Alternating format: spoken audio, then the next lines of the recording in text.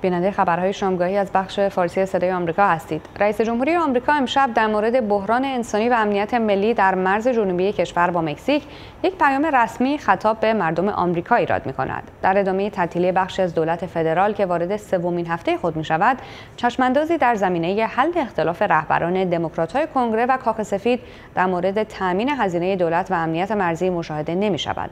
با همکارم شهلا رسته از مقابل کنگره گفتگو می کنم. شهلا از جزئیات پیام رئیس جمهوری و آخرین تحولات دیگر در این مورد چه می‌دونید؟ مذاکرات کاخ سفید و رهبران دموکرات های کنگره تا کنون درباره حل این اختلاف پیچ به جایی نرسیده بی سمر بوده و کاخ سفید دیروز اعلام کرد که رئیس جمهوری آمریکا شب ساعت 9 شب به وقت واشنگتن در این ارتباط با مردم آمریکا صحبت خواهد کرد. پرزیدنت ترامپ هم در توییت در این ارتباط نوشت خوشحالم که شما رو مطلع بکنم که من در مورد بحران انسانی و وضعیت اضطراری ملی در مرز جنوبیمان امشب با شما صحبت خواهم کرد. پرزیدنت ترامپ پنجشنبه نیز برای دیدار از با مسئولینی که در خط اول بحران و مسائل مرزی در مرز با مکزیک خدمت می‌کنند به این منطقه سفر خواهد کرد. چاک شومر رهبر اقلیت سنا دموکرات ها رو بسیج کرده که با هر طرح پیشنهادی جمهوری خواهان در سنا مخالفت بکنن مگر اینکه طرح مصوبه های مجلس باشه که برای تامین هزینه دولت ولی بدون اختصاص پولی برای احداث حصار مرزی در سنا به رأی گذاشته بشه.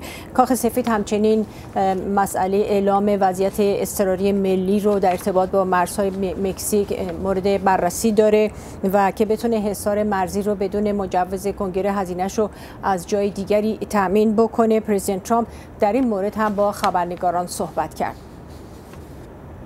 We have a crisis at the border of drugs, ما در مرزهایمان بحران ورود مواد مخدر و قاچاق انسان را داریم. یک بحران کامل جنایتکاران و اعضای باندهای تبهکار به کشور وارد می شوند این یک وضعیت اضطراری ملی است. ادم اسمیت رئیس دموکرات کمیته نیروهای مسلح مجلس نمایندگان در مورد اعلام وضعیت اضطراری با تلویزیون ABC چنین صحبت کرد. There is a provision in law that says the president can declare an emergency. در قانون چنین موردی هست که رئیس جمهوری اختیار اعلام وضعیت اضطراری را دارد و در گذشته چندین بار از این اختیار استفاده شده. اما آقای اسمیت همچنین اضافه کرد که این اقدام ممکنه که با چالش قانونی روبرو بشه. چرا که ممکنه لازم بشه توجیه بشه چرا این مسئله اضطراری هست.